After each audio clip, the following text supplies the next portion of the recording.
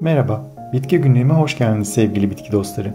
Bitkilerin dünyasına yaptığımız bu yolculukta her gün yeni bitkilerle tanışabilir, onların pek fazla bilinmeyen hikayelerini benden dinleyebilirsiniz. Dilerseniz hemen yeni bir bitkiyle daha tanışalım. Graviola ya da Latince adıyla Annona muricata, Ananaceae yani şeker ağacıgiller familyasından Karayipler ve Güney Amerika'ya özgü, geniş oval yapraklı, hoş kokulu beyaz çiçekleri olan ve yaz kış yaprak dökmeyen tropikal bir meyve ağacıdır. Ona ana vatanında Guyabano, Catuche, Yaka de Para ya da Guanabano gibi isimler verilmiştir. Daha önce başka bir video ile anlattığım şeker elması yani Ananas squamosa ve Cherimoya yani Anona cherimola ile akrabadır. Bu aile genellikle çok lezzetli olan meyveleriyle ünlüdür. Graviola nemli ve sıcak iklimlerde yetişmeyi seven bir bitkidir ve dona dayanamaz. Soğuk ve don ağacın meyvelerinin kurumasına yol açar. Toprak konusunda ise seçici değildir.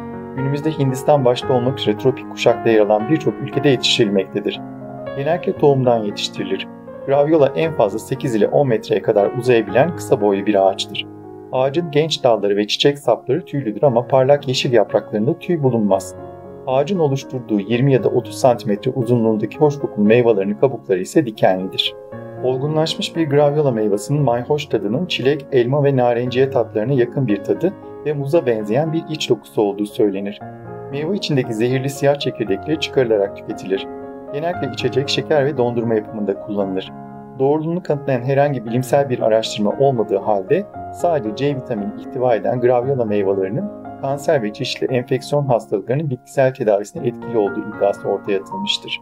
Bazı ülkelerde bitkinin yaprakları sıcak suda demlenerek uyuz gibi deri hastalıklarında topikal olarak kullanılır. Aynı zamanda bu yaprak ve meyve çekirdekleri kurtulup toz haline getirilerek bit ve tahta kurularına karşı ilaç yapımında da kullanılır. Ağacın dayanıklı olmayan odunu genellikle yakacak olarak kullanılır. Graviola aynı zamanda kırlangıç kuyruklar ailesinden bir kelebek türü olan Graphium agamemnon'un yumurtalarını üzerine bıraktığı ağaçların başında gelir. Yumurtadan çıkan tırtıllar graviola yapraklarının çoğunu tüketir ve yaprakların altlarına da kozalarını örerler.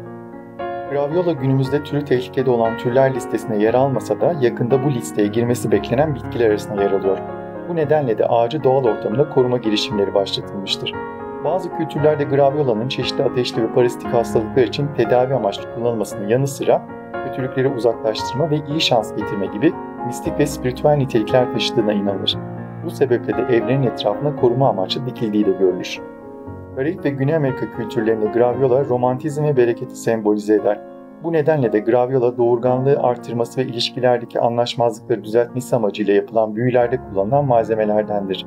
Bir inanışa göre uyurken yastığın altına konan ya da tütsü olarak yakılan graviola yaprakları gelecekten haber veren rüyalar görmenizi sağlarmış.